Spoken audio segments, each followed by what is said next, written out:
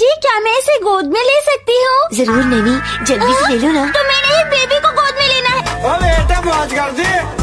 मौज कर दी वाह बेटे वाह। अरे वाह। क्या हो गया Himawari?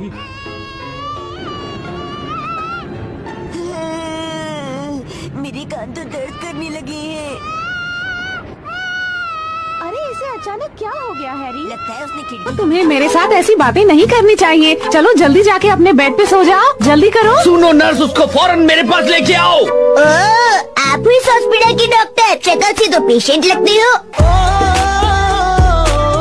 Excuse me excuse me please excuse me excuse me रास्ते से हट जाइए। अगर मेरी मम को गुस्सा आ गया तो वो ट्रेन में गोली बरसा देंगी। मम्मा पापा को भी तो याद करो। पापा दादा और दादी का क्या?